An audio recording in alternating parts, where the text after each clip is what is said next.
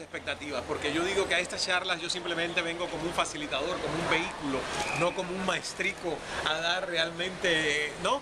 Creo que en 43 años de vida que tengo he podido migrar mucho de mi natal Santiago de Cuba a La Habana, luego a Toronto, Canadá, México, Estados Unidos, y yo creo que esa historia de migraciones ha sido también no solo físicas o geográficas, sino migraciones humanas dentro de uno como ser humano.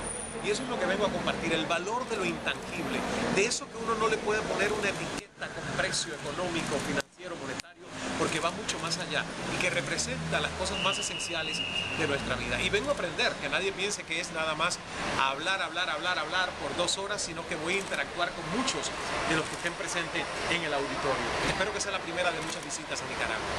Bienvenido. Muchas gracias.